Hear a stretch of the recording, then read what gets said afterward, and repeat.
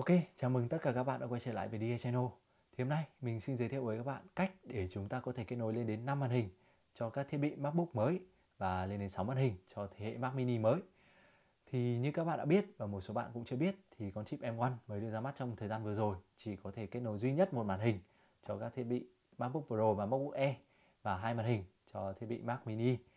Thì giải pháp ở đây mình sẽ sử dụng là các thiết bị chuyển đổi có tương thích với Display Link và ở đây mình sẽ dùng thương hiệu là Blackable thì với thiết bị này thì ờ, mình sẽ có thể kết nối với màn hình ờ, có độ phân giải lên đến 2K ờ, và dưới 50 Hz còn độ phân giải 1080 sẽ là dưới 60 Hz thì cho một số bạn chưa biết thì Display Link là một công ty chuyên sản xuất chip và phần mềm liên quan đến màn hình.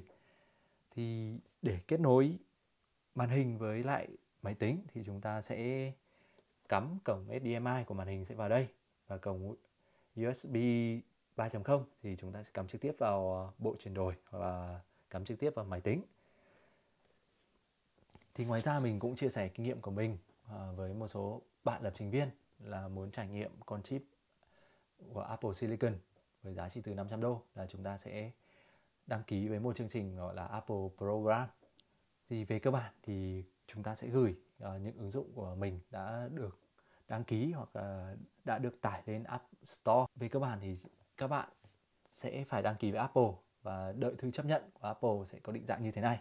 Khi chúng ta sẽ được chấp nhận rồi thì chúng ta sẽ chi trả khoảng 500 đô la cho một thiết bị có cấu hình như thế kia và chúng ta sẽ có thời hạn sử dụng lên đấy là một năm.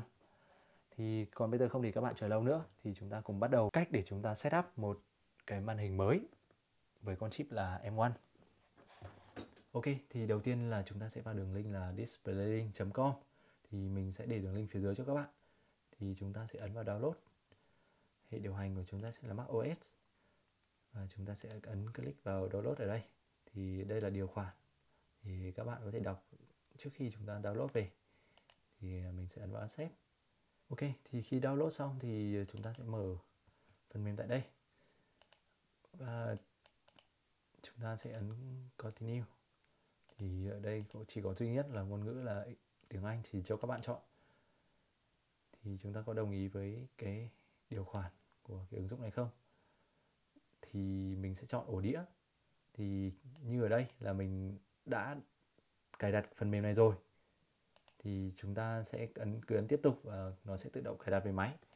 Thì khi chúng ta cài đặt xong thì chúng ta sẽ mở phần mềm là display link lên và nó sẽ tự động kết nối Ok, thì về ưu điểm của thiết bị này thì chúng ta có thể rất, thấy rất là rõ thì chúng ta có thể kết nối nhiều màn hình hơn với con chip M1 mới của Apple.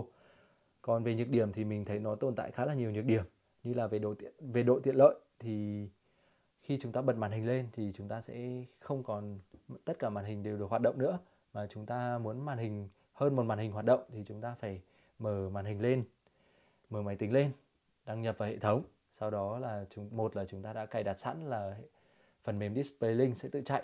Sau khi chúng ta đăng nhập vào hệ thống còn không thì chúng ta phải mở ứng dụng lên và cài đặt lại mọi thứ. Còn một vấn đề nữa là màu sắc mình thấy nó không được trung thực như khi chúng ta cắm trực tiếp cổng HDMI vào MacBook Pro, MacBook Air hoặc là Mac Mini mới. Thì suy nghĩ của mình là như vậy. Thì liệu sản phẩm này có thay thế được những bất tiện mà con chip M1 mới của Apple mang lại hay không?